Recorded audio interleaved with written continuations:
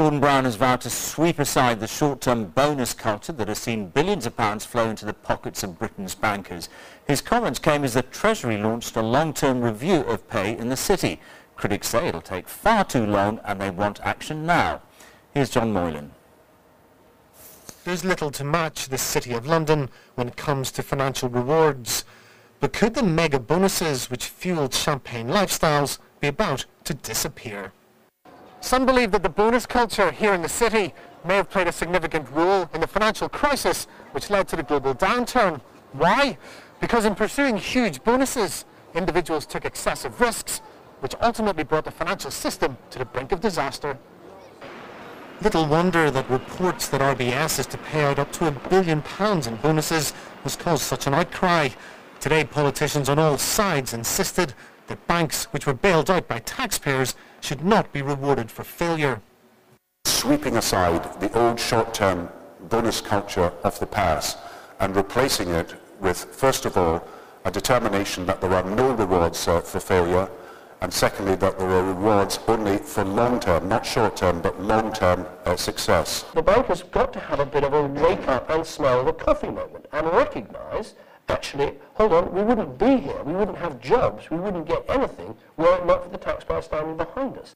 Bonuses are common throughout banking. Depending upon the company's performance, branch-level staff might receive in the region of a few hundred pounds. Moving up the pay scale, traders will get a bonus based more upon their individual performance. Here, six-figure sums are common. And in the boardroom, payouts are based on key targets, such as profit growth, and can amount to millions of pounds. Take, for example, three of the biggest names in the business. Last year, the then chief executive of RBS, Sir Fred Goodwin, enjoyed a total remuneration, including bonus, of £4.2 million. Eric Daniels, the chief executive of Lloyds TSB, which also received taxpayer money, took home £4.8 million.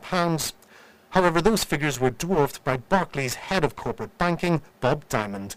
He received a 5.6 million cash bonus, plus millions more in shares. Those sorts of payouts are unlikely to be repeated for years to come. And while contracts might mean some staff at bailed out banks receive a cash sum, others will be happy just to keep their jobs. I think the top has been and gone. Uh, we've, we've passed the high water mark and we're now on a fairly substantial downward curve that is going to result in a complete rebalancing of how bonuses are approached, how remuneration is approached, and how risk is approached. And a lot of people I hear at the moment are saying, forget about the bonus, I'm happy to still have my job. Financial rewards will be at the heart of the government's new review of the banking system. But as the major banks prepare to report annual results, some tough decisions on bonuses lie ahead. John Moylan, BBC News. Well, as the row over bonuses for bankers continues, Barclays has revealed that its top directors won't be getting any this year. The bank has also begun a review of performance-related pay. Today, Barclays reported profits of just over £6 billion before tax, down 14% on 2007.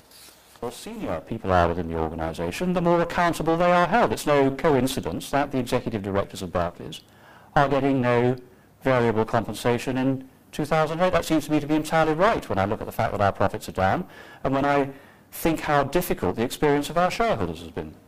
Well, let's get the latest now from our political editor, Nick Robinson in Downing Street. Nick, Gordon Brown says he's